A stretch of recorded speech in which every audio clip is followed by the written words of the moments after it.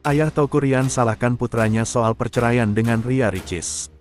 Sidang lanjutan perkara cerai Ria Risia dan Teuku Rian kembali digelar di Pengadilan Agama Jakarta Selatan.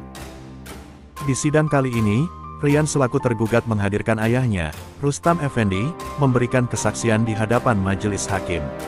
Alasan Teuku Rian menghadirkan sang ayah, karena beliau yang bertindak sebagai perwakilan keluarga untuk mediasi dengan Oki Setiana Dewi yang menjadi perwakilan keluarga Ria Ricis pada November lalu. Jadi berempat ini selalu melakukan komunikasi yang tercatat dan diingat ayah itu memang ada dua kan di mediasi.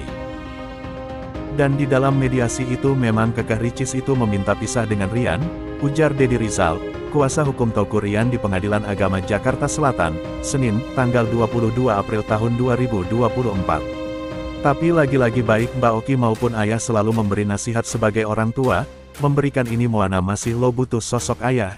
Itu yang penting, sambung Dedi Rizal, meski sebagai ayah, Rustam tetap menyalahkan Toko Rian selaku kepala rumah tangga atas kisruh rumah tangganya dengan Ricis. Menurut Rustam, seharusnya Rian bisa menyelesaikan masalah ini dengan baik. Ayah tetap menyalahkan Rian karena Rian kepala keluarga. Harusnya bisa menyelesaikan ini semua. Intinya begitu. Ayah tetap menyalahkan Rian, kata Rustam, diakui Rustam, Ricis sering mengadukan soal sikap Rian terhadap dirinya.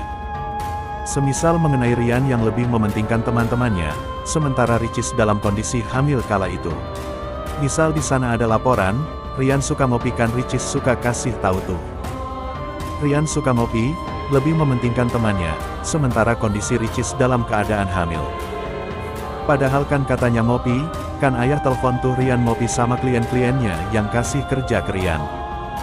Tapi Rian tetap bilang, tetap minta maaf ke Ricis, urai Rustam.